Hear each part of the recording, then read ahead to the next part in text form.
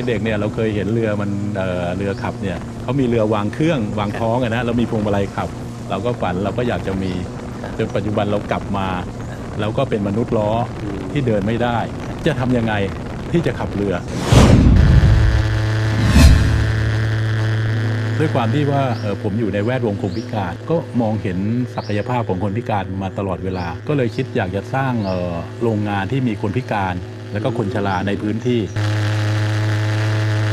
จริงๆเนี่ยผมจะมีความฝันอยู่เรื่อย แต่ฝันของผมเนี่ยต้องกระโดดจับถึง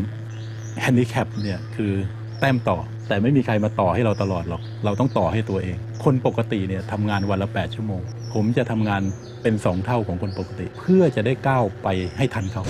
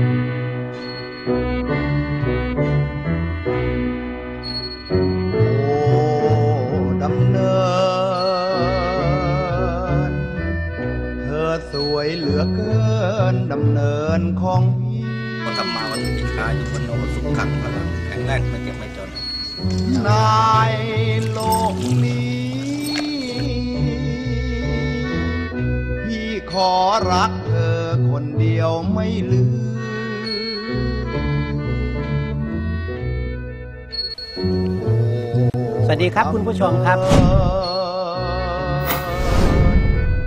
เราเคยรักกันตะวันทุกแห่งมีประวัติศาสตร์ ตอนนี้ผมอยู่ในสถานที่ซึ่งมีประวัติศาสตร์ย้อนกลับไปถึงสมัยทราวดี พื้นที่แห่งนี้ก็เป็นหัวเมืองสำคัญของมณฑลราชบุรี ผมนั่งอยู่ริมคลอง ซึ่งย้อนไปตั้งแต่สมัยรัชกาลที่4นะร้อยกว่าปีที่ผ่านมา เป็นคลองที่เชื่อมระหว่างแม่น้ำท่าจีนและแม่น้ำแม่กลอง เป็นคลองที่ได้รับพระราชทานชื่อว่าดำเนินสะดวก วันนี้นะครับผมจะพาคุณผู้ชมไปดูวิถีชีวิตของคนในพื้นที่แห่งนี้ ผ่านผู้ชายคนหนึ่ง สวัสดีครับพี่ครับ สวัสดีครับอาจารย์ ดำเนิน วยเหลือเกินดำเนินพี่ประสบความสำเร็จในชีวิตในกรุงเทพ ตอนนี้ย้อนกลับมาที่บ้านเกิดบ้านเกิดครับนะคือดำเนินสะดวกครับ พี่เป็นคนที่นี่แหละครับ เกิดที่นี่เลยครับอาจารย์เกิดที่นี่เกิดที่นี่นะเดิมตั้งแต่ดั้งเดิมเลยเนี่ย คุณพ่อก็เป็นคนที่นี่คุณพ่อตั้งเกิดตั้งที่แต่นี่เลรุ่นยไหนครับที่อยู่ที่นี่ต้องรุ่นรุ่นปู่นะฮะครับ ปู่เนี่ยเป็นจีนอพยพอืมมาจากเอ่อเขาเรียกสัวเทาอะนะเป็นจีนครับ แต้จิ๋วอ๋อนะรัก็บคือเกิดในตระกูลแต้ตั้ง แกก็อพยพ แล้วแกก็ลอยเรือ ครับ ใช้เรือเนี่ยในการบรรทุกสินค้าจากดำเนินสะดวก ไปครับขายที่ทรงวาดกรุงเทพ อืม จากทรงวาดก็ทุกสินค้ากลับมาขายที่คลองดำเนิน ครับ แล้วแกก็กินนอนอยู่ในเรือ นั่นแสดงว่าคลองดำเนินสะดวกเนี่ยถูกสร้างขึ้นมาเพื่อที่จะส่งเสริมด้านการค้า ด้านเศรษฐกิจของครับ ชุมชนในย่านนี้ ใช่ใช่อืมเป็นเป็นคลองเศรษฐกิจสมัยนั้นเป็นคลองเศรษฐกิจที่จะครับลำเลียงเอ่อพืชผักผลไม้เนี่ยครับ ออกสู่ตลาดกลางที่กรุงเทพอ๋อครับนะสมัยนั้นมีถนนไหมครับ ยังไม่มียังไม่มีทางเกวียนก็ไม่มี ไม่มีเลยฮะไม่มีอืม ทุกอย่างต้องเป็นใช้เรือหมด ครับฉะนั้นถ้าเกิดเอ่ออาจารย์เอ่อนึกภาพกลับไปสักห้าสิบปีเนี่ยครับ ริมคลองที่เรานั่งอยู่ตอนนี้เนี่ยอืม เอ่อเรือเนี่ยจะเสียงดังมาก ครับ จะวิ่งกันพลุกพล่านเหมือนกับ หลับตาจินตนาการก็เหมือนกับกรุงเทพเราที่รถถนนเอ่อขับไอ้รถกันเนี่ยไฮเวรือย์นี่ยในกรุงครับเทพครับอืมอืมจะมีเรือเรือนานาชนิด เรือพาย เรือเรือเล็ก เรือใหญ่ ไปจนถึงเรือบรรทุกครับนะแล้วก็มีเรือโยงอืมที่บรรทุกสินค้า เป็นพวกครับหินทรายมาทำการก่อสร้างกัน ตอนที่ผมเริ่มจำความได้แล้วตอนครับเด็กครับๆก็เล่นน้ำเกาะเรือโยงนะฮะครับอยากให้พี่วรยุทธ์ช่วยเล่าประวัติศาสตร์ความเป็นมา แล้วก็เรื่องราวที่น่าสนใจของคลองดำเนินสะดวกครับหน่อยครับ ก็เริ่มตั้งแต่สมัยเอ่อรัชกาลที่4อะนะครับ สมเด็จเอ่อพระบาทสมเด็จพระจอมเกล้าเจ้าอยู่หัว ซึ่งทรงเห็นว่าการคมนาคมของจังหวัดสมุทรสงครามอืมกับราชบุรีเนี่ยครับในการที่จะเข้าเมืองหลวงเนี่ยยังไม่สะดวกครับก็ดำริให้ขุดคลองเชื่อมอืมระหว่างแม่น้ำแม่กลองกับแม่น้ำท่าจีนเอ่อท่านก็มอบหมายให้เจ้าพระยามหาสุริยวงศ์ช่วงบุญนาคเป็นแม่กลองครับ ออกแบบแล้วก็ดำเนินการขุด ก็ใช้แรงงานของคนอืมซึ่งเป็นชาวจีนอพยพสมัยก่อน จ้างแรงงานจีนเนี่ยอืมเอ่อขุดคลองเส้นนี้อืมก็ใช้เวลาประมาณ 2 ปีโอ้สองปี ระยะทางประมาณ 32 กิโลเมตรครับครับคลองนี้ก็ขุดเป็นเส้นตรงนะฮะอืมแม่น้ำท่าจีนก็จะเชื่อมระหว่างสมุทรสาครครับนะไปเชื่อมไปไปบางขุนทีอืมนะสมุทรสงคราม ในสมัยนั้นก็แบ่งเป็นหลักอืมมีทั้งหมด 8 หลัก ครับเริ่มตั้งแต่หลักที่1ที่เอ่อแม่น้ำท่าจีนครับเขาเรียกประตูน้ำบางยางอืมครับจนไปถึงหลักที่ครับ8ที่เอ่อประตูน้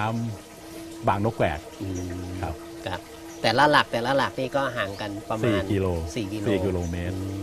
ถ้าหลังเปรียบเทียบสมัยที่แล้วการขุดคลองก็คล้ายๆกับการสร้างถนนหรือเปล่าครับ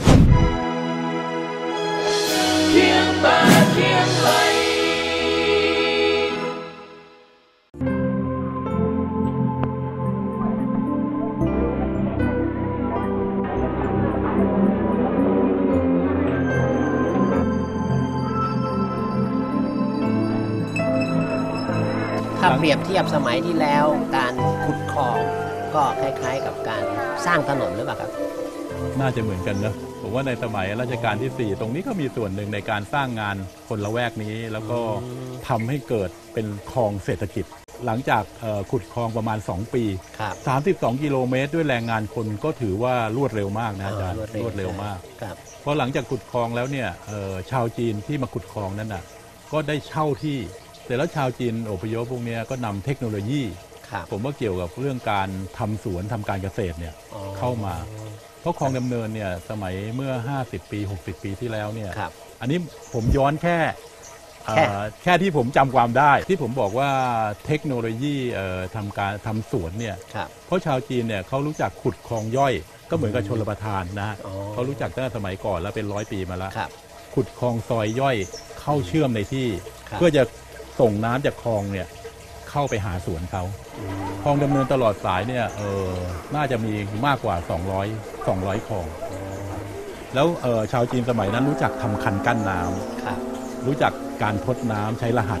วิทย์น้ำนะฮะวิทย์น้ำเข้าวิทย์น้ำออก ครับ เขาสามารถทำการเกษตรได้ตลอดปี นั่นทุกวันนี้นะฮะคลองก็ยังอยู่ การเกษตรก็ยังอยู่ แต่ก็หมุนเวียนไปเพราะว่าแรงงานแพง อ๋อ ก็จะเริ่มปลูกเป็นต้นไม้ยืนต้นครับ นะอย่างมะพร้าวน้ำหอมเนี่ยซึ่งกำลังนิยมมากครับ ปลูกแล้วไม่ต้องดูแลมาก ดินที่นี่เนี่ยไม่เหมือนที่อื่น ครับ ปลูกมะพร้าวอ่อนเนี่ยจะได้น้ำจะได้หอมมะพร้าวอ่อนเขตเอ่อดำเนินบ้านแพ้วเนี่ยชนะเลิศในเรื่องรสชาติ อืมผมเห็นมีวัดวาอารามเยอะแยะเลยแถวนี้นะครับ มีประวัติความเป็นมายังไงครับ ก็วัดเนี่ยจะมีอยู่ทุกหลัก อืก็หมายถึงว่าทุก 4 กิโล ครับ ก็จะมีวัดอืม ก็จะเริ่มตั้งแต่หลักหนึ่งหลักสองครับหลักสามหลักสี่อืมหลักห้าหลักหกหลักเจ็ดหลักแปดครับนะทุก4กิโลมี1วัดอืมวัดที่เป็นวัดแรกเนี่ยอยู่ที่หลักห้าครับนะวัดหลักห้าเนี่ยจะเป็นวัดแรกตอนที่เอ่อเจ้าพระยามหาสุริยวงศ์ครับสร้างวัดมาได้ถึงจุดกึ่งกลางขุดคลองมาถึงหลักห้าครับครับผมก็ได้สร้างวัดขึ้นอืมนะก็คือวัดหลักห้า จะเป็นวัดแรกของคลองดำเนินอืมแล้วก็จะมีหลวงพ่อไตรรัตน์ครับที่ชาวบ้านเอ่อนับถือนะจนทุกวันนี้ก็จะมีงานประจำปี ซึ่งสืบทอดมาหลายสิบปีนะอาจารย์หลายสิบปีที่สืบทอดมาทุกปีก็จะมีขบวนแห่ครับในสมัยก่อนก็จะแห่ทางน้ำครับแห่ตั้งแต่วัดหลักหนึ่งจนชนวัดหลักแปดอ๋อ เพื่อให้เอ่อประชาชนสองฝั่งคลองครับมากราบไหว้กันครับจนปัจจุบันนี้ก็ยังมีขบวนแห่อยู่ จะเป็นช่วงของด้วยผมว่าน่าจะเรื่องชุมชนชาวจีนเยอะอ๋อครับขบวนแห่ของประจำปีของหลวงพ่อไตรรัตน์ก็จะมีทุกตรุษจีนครับมีงานประจำปีทุกตรุษจีนอืมปัจจุบันก็จะแห่ทั้งทางรถครับแล้วก็ทางเรืออืมครับต้องบอกว่าพี่วรยุทธ์เนี่ยนะเป็นคนที่สู้ชีวิตจริง ๆ นะครับ คุณผู้ชม เพราะว่า พี่วรยุทธ์เนี่ยพิการแล้วก็มาเริ่มทำธุรกิจต่างครับๆนะไม่ใช่ประสบความสำเร็จในชีวิตแล้วมาทำธุรกิจนะครับ พิการแล้วแล้วก็ลุกขึ้นสู้มาทำธุรกิจจนประสบความสำเร็จครับ นะตอนนี้กลับมาที่ดำเนินสะดวกครับ อ่ามาทำอะไรที่นี่บ้างครับเมื่อ 5 ปีที่แล้วเนี่ยคุณพ่อมายกบ้านให้อืมก็เลยเข้ามาปรับปรุง ครับ ก็เลยมีความฝันอีกฝันหนึ่งละ ครับแต่เป็นฝันที่ยิ่งใหญ่มากเลยครั้งนี้ก็คือกลับมา ทำธุรกิจที่บ้านเกิด บ้านเกิดเราเนี่ยเป็นเมืองผลไม้ครับ เราก็มีความคิดว่าเราจะทำยังไงอืมนะ ที่จะทำธุรกิจที่นี่ครับ ด้วยความที่ว่าเอ่อผมอยู่ในแวดวงคนพิการนะครับคนพิการ ก็มองเห็นศักยภาพของคนพิการมาตลอดเวลาอืมก็เลยคิดอยากจะสร้างเอ่อโรงงานที่มีคนพิการแล้วก็คนชราในพื้นที่ครับเพราะมองเห็นในดำเนินสะดวกเนี่ยก็มีคนพิการเยอะมาก เราตั้งใจจะทำเป็นโรงงานต้นแบบครับที่ใช้คนพิการ ในสัดส่วนที่มากกว่ารัฐบาลกำหนด อ๋อ ซึ่งตั้งใจเลยว่าเราจะต้องมีถึง 3-40%ถึงอ๋อเราจะทำให้ได้ ก็เลยคิดว่ามาต่อยอดทำบรรจุภัณฑ์ก่อนอืมอันดับแรก แล้วก็รับซื้อผลไม้ทำแบรนดิ้งอืม ทำกล่องสวยๆ เพื่อจะครับส่งออกนะฮะอืมหรือว่าไปขายตามห้าง ระยะสุดท้ายก็อาจคือการแปรรูป เราจะต้องทำตั้งแต่ต้นน้ำครับถึงปลายน้ำ นี่เป็นความฝันที่ท้าทายมากเลยนะครับ ส่วนโฮมสเตย์แห่งนี้นี่ ตอนนี้เปิดรับให้คนทั่วไปได้มาพักได้หรือยังครับ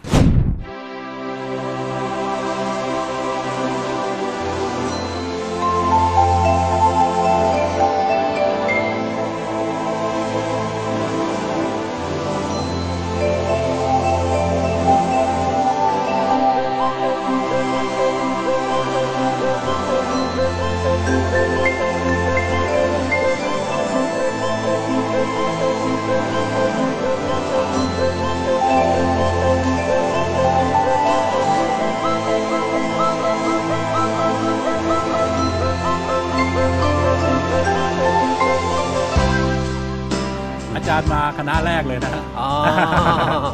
สะดวกสบายมากครับคุณผู้ชมนะสำหรับอ่าครอบครัวผู้สูงอายุหรือคนพิการหรือใครที่อยากจะมาหาความสงบนะมาดูวิถีชีวิตดั้งเดิมนะมาที่นี่ได้นะครับดำเนินสะดวกมีอะไรอีกมากมายให้เราค้นหา ทุกวันเนี้ยที่ประสบความสำเร็จมาจนถึงวันเนี้ยอะไรคือสิ่งที่สำคัญที่สุดครับ ความฝันฮะ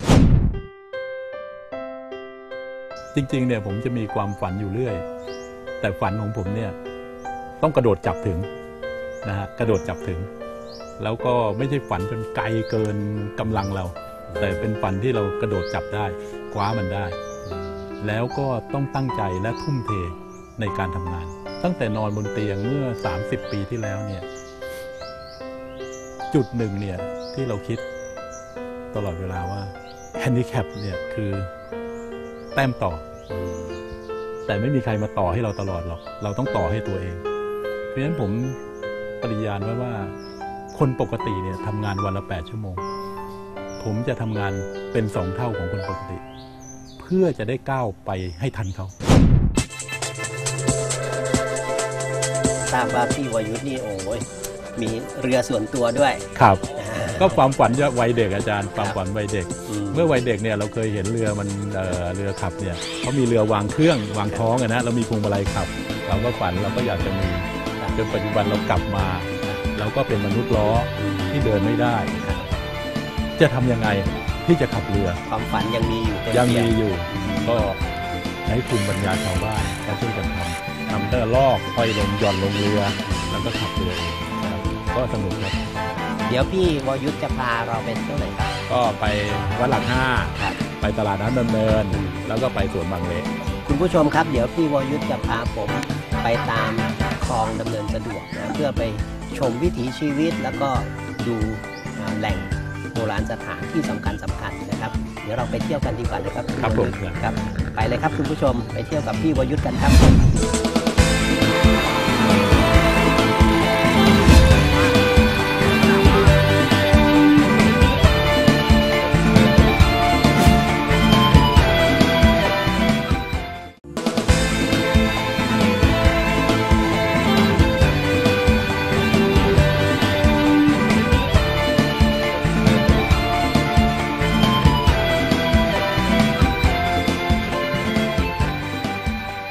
เป็นครั้งแรกของผมเลยนะครับ ที่ได้ล่องเรือไปตามลำคลอง แล้วก็ได้ขี่เรือหางยาวที่พี่วรยุทธ์และทีมเนี่ยผลิตขึ้นมาเอง ได้สร้างขึ้นมาเองกับมือนะเพื่อรักษาไว้ซึ่งเรือซึ่งเป็นภูมิปัญญาของท้องถิ่นโอ้สมัยก่อนนี่มันเรือมันจะเยอะที่สุดในประเทศไทยเลย ในประเทศไทยเนี่ยคือจุดเนี้ยเยอะที่สุดในประเทศไทย แต่ตอนนี้มันวิธีวิธีมันเปลี่ยนไปคือทางรถเข้า เรือก็หายไปขายไปอยู่ที่อัมพวาหมด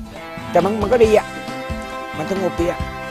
เพราะว่าคนที่อยู่เนินแล้วมันจะไม่อยากไปไหนอะมันร่มรื่น แล้วมันปลอดภัยด้วยเนินนะการทำกินก็ดี คือน้ำน้ำดีหมด ตอนนี้เราอยู่ที่ไหนครับพี่ยุทธเอ่อตอนนี้คือตลาดหลักห้านี่ก็คือร้านก๋วยเตี๋ยวอ่ากลิ่นหอมเหลือเกินพี่เราชิมก๋วยเตี๋ยวกันดีไหมครับ ได้เลย แม่ค้าจ๋าขายมากี่ปีแล้วครับ ขายมาสามสามสี่สิบปีแล้ว โอ้ขายมานานมาก 3-40 ปี ขายตั้งแต่พายเรือครับจ้ะขายตั้งแต่พายขายตั้งแต่พายเรือพายแล้วจนลูกค้าเขาเรียกร้องให้จอดตรงเนี้ยเขาเป็นอาหารกินถูกอ๋อแม่ค้าก็เลยขึ้นคานแล้วครับ แม่ค้ามีอะไรบ้างครับ อ๋อมีก๋วยเตี๋ยวน้ำต้มยำเย็นตาโฟ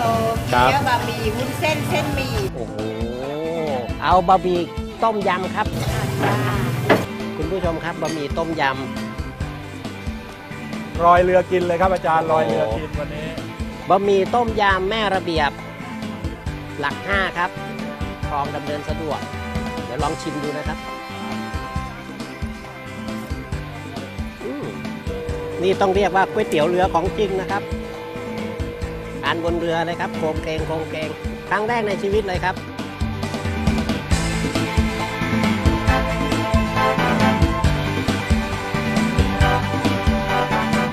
แม่ค้าจ๋าไปนะจ๊ะอร่อยมากจ้าขอบคุณมากครับ อร่อยมาก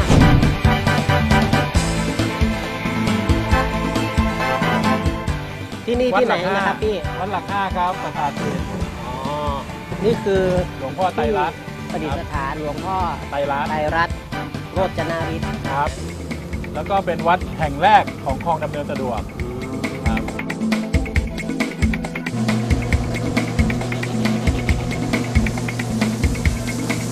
ผู้ชมครับตอนนี้เราก็มาถึงตลาดน้ำดำเนินสะดวกนะครับ ประตูนี้บอกว่าชาวดำเนินสะดวกยินดีต้อนรับ เราเดินทางมาจากหลักห้าวัดประสาทสิบ นะหรือวัดหลักห้าตอนนี้เราอยู่ประมาณหลักเจ็ดครับ ก็ประมาณ 8 กิโลครับที่เราล่องเรือมาตามลำน้ำของคลองดำเนินสะดวก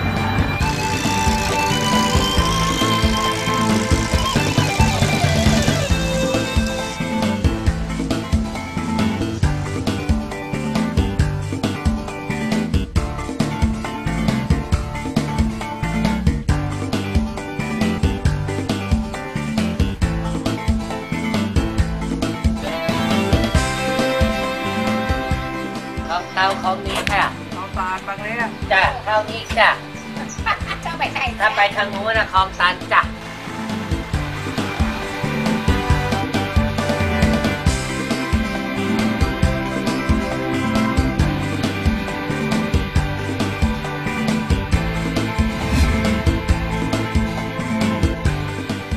ดีนี่จังคืเลอยคุณบางเละ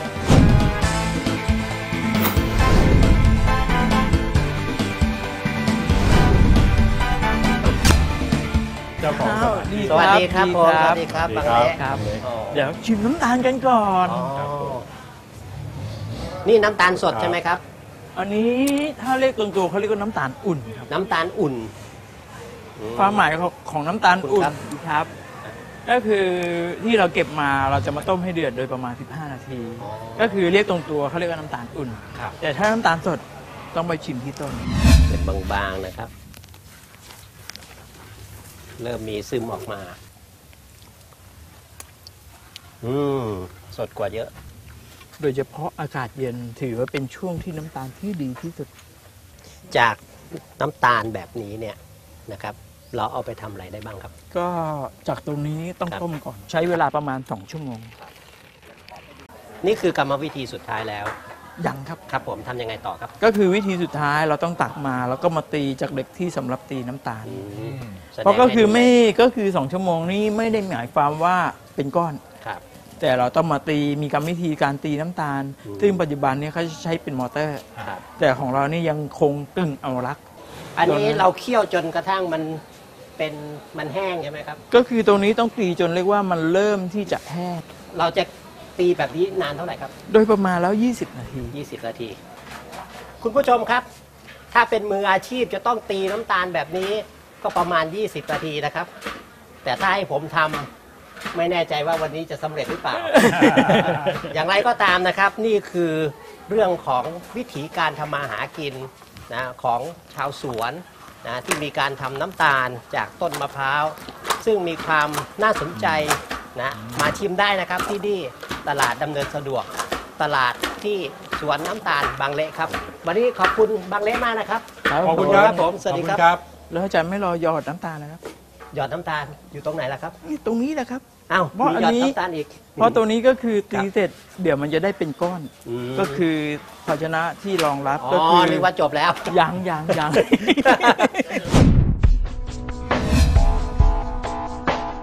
ตีน้ำตาลเมื่อสักครู่นะครับ ใช้เวลาประมาณ 20 นาทีนะครับ น้ำตาลก็จะเริ่มแห้ง แต่อันนี้ที่เราหยอด ถ้าถ้าเราใส่ปี๊บก็จะเรียกน้ำตาลปี๊บแต่ถ้าเราหยอดอย่างนี้เขาจะเรียกน้ำตาลปี๊บน้ำตาลตัวนี้นะครับสามารถที่จะไปประกอบอาหารคาวหวานได้ อย่างในอดีตเมื่อก่อนรุ่นปู่ย่าตายายเรานะครับเขาถือว่าน้ำตาลเนี่ยเป็นทั้งกับข้าวแล้วเป็นขนมหวานพี่วรยุทธ์ไม่ทราบว่ามีอะไรอยากจะเพิ่มเติมอีกไหมครับถ้าท่านผู้ชมเอ่อสนใจครับอยากจะมาเที่ยวคลองดำเนิน อยากจะมานั่งเรือ โดยเฉพาะมนุษย์ล้อ อยากจะขับเรือเรามีบริการนะครับ ก็เป็นเอ่อดำเนินโฮมสเตย์รีสอร์ทนะฮะเบอร์โทรศัพท์ติดต่อก็ 081 835 4206 ติดต่อผมโดยตรงเลยครับ วรยุทธ์กิจกูลวันนี้ต้องขอขอบพระคุณพี่วรยุทธ์เป็นอย่างสูงครับขอบสคุวัณสดีครับครับอาจารผมย์ครับสวัสดีครับ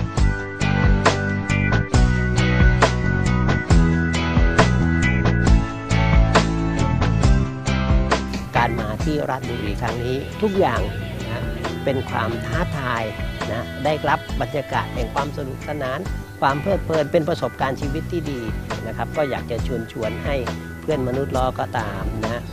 นักท่องเที่ยวนะผู้สูงอายุครอบครัว ที่อยากจะแสวงหานะความเงียบสงบความแปลกใหม่ อยากจะศึกษาวิถีชีวิตของชุมชนนะศึกษาประวัติศาสตร์ ส้นทางนี้เป็นเส้นทางที่น่าสนใจคลองดำเนินสะดวกจังหวัดราชบุรีครับ